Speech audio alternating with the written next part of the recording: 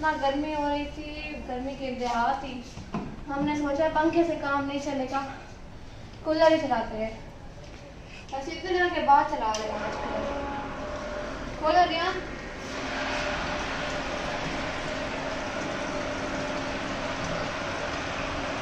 आगे से देखो भर रहा है तो। भर गया नहीं भरा। भर गया। बंद करो बंद करो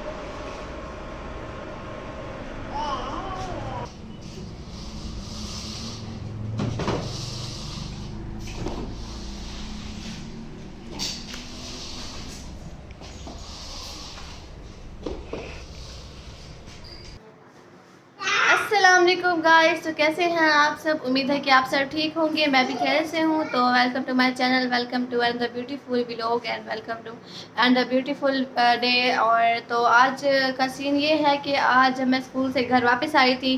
तो मेरी अम्मी की तबीयत बहुत बहुत ज़्यादा ख़राब हुई हुई थी।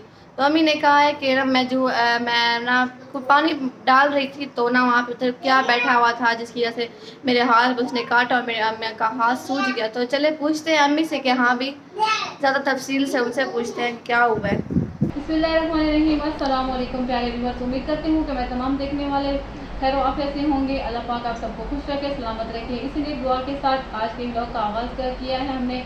तो जैसा कि आपको पता है, गर्मियों का मौसम चल रहा है और गर्मियों में जो है, सारे कीड़े मकोड़े और हशात वगैरह जो है, ज़मीन से बाहर आ जाते हैं। ज़मीन क्योंकि बहुत ज़्यादा गर्म हो जाती है, इसलिए जो है ना सारी से बाहर निकल आती हैं। तो इसी तरह अपने बच्चों का और अपना ख्याल रखा करें। आज मैं बस कूलर से पानी पानी जो, पानी भरने वाला, ठंडा पानी पीने के लिए मैं कूलर के पास गई और जैसे मैंने टूटी को पकड़ा तो ये देखे मेरे हाथ पे जो है ना यहाँ पे काट काट गई कोई चीज़। तो मैंने कहा, कोई बिच्छू वगैरह होगा या जो है ना वो जो बेम्बू फ्रैकी में तो बेम्बू कहते हैं, पता नहीं आप लोग क्या कहते हैं। उर्दू में समझ नहीं आ रहा। तो मैंने सोचा वही होगा, लेकिन एकदम से मेरा हाथ इतना सूझने लग गया, काला, नीला, पीला होने लग गया। मेरे दर्द से चीखें निकल रही थी, अभी भी देखे मेरा हाथ जो है ना काला हो रहा है। फिर मैं डॉक्टर के पास गई, मैं ना बैठी रही हूँ दो तीन इंजेक्शन लगाए हैं मेडिसिन दी है। उसके बाद जो है ना उन्होंने ये निशान लगा के दिया है, उन्होंने कहा, अगर ये सूजन आपकी इस निशान से ऊपर क्रॉस करने लग जाए तो फिर आप दोबारा दिखाइएगा, वरना जो है ना ये टैबलेट मेडिसिन वगैरह खा लें। और इंशाल्लाह खैर वाफियत हो जाएगी। तो देखिए जी सूजन थोड़ी बहुत कम तो नहीं हो रही है बल्कि बढ़ रही है। मुझे लगता है शाम को फिर दिखाना पड़ेगा।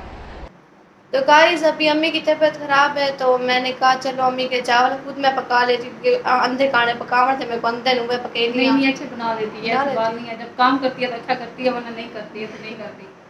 तो मैंने कहा मम्मा के लिए मैं चावल बना लेती हूँ क्योंकि अम्मी ने चावल खाना है फिर उन्होंने मेडिसिन भी लेनी है। बहुत ज़्यादा भूख लगी हुई है। उठो अब तक से दो बज गए हैं अभी तक हमने खाना नहीं खाया है। मैं अभी एक बजे स्कूल से आई हूँ तब से घर में घर में आपको पता है जब औरत घर की बड़ी का जो है ना कोई हादसा पेश आ जाए या बीमार हो जाए ना तो फिर बच्चे सारे भूखे रह जाते हैं। आज मुझे एहसास हुआ कि बड़ी बड़ी होती है।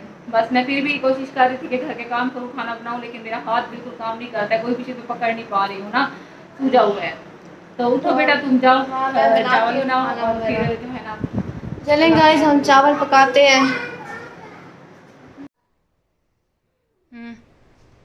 तो अभी मैंने टमाटर और प्याज काट लिए थे अब ये आलू काट रही हूँ।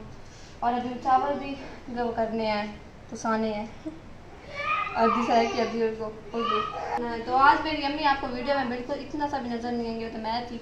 मैंने कहा आप वीडियो कैमरा उठाओ मैं वीडियो वीडियो बना मेरी। चावल पका रही टॉपिक अच्छा है अच्छा आप जल्दी करो मुझे बहुत भूख लग रही है।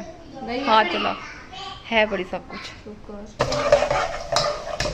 प्याज फ्राई हो रहे हैं गोल्डन गोल्डन लेंगे क्योंकि गर्मी में ना खाना पकाना बहुत मुश्किल होता है। एक बर्तन धोना इतना मुझे अजाब लगता है और अभी अभी अभी सीख जाऊँगी फिर आना फिर अम्मी मुझे किचन में खड़ेंगे ना, अम्मी।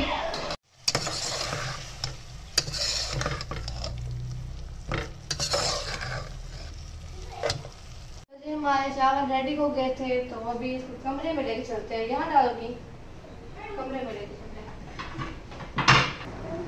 प्लेटें मैं ले ली थी पहले से ही।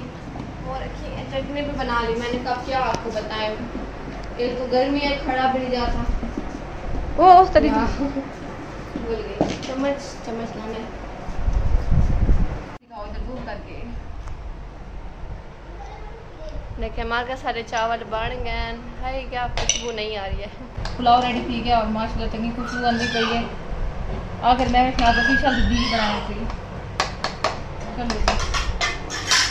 वो चटनी में भी मैंने दो डाली हैं। कमाल की थी मैं चटनी ना खोसा मैं ये हल्के पतले चावल हूँ। बस खैर बस बस। कर तो जी गाइस हमारे चावल बन गए थे और अभी हम खाने लगे हैं। अम्मी तो नहीं खा सकेगी पहले मैं ही खा के बता दी कैसे बने हैं। अच्छे ही बने होंगे अच्छे बने हुए हैं। आओ बस।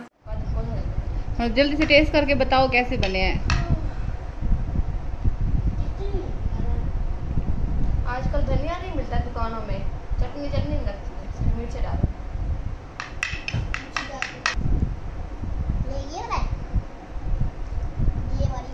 बहुत अच्छे बने हुए हैं हैं आओ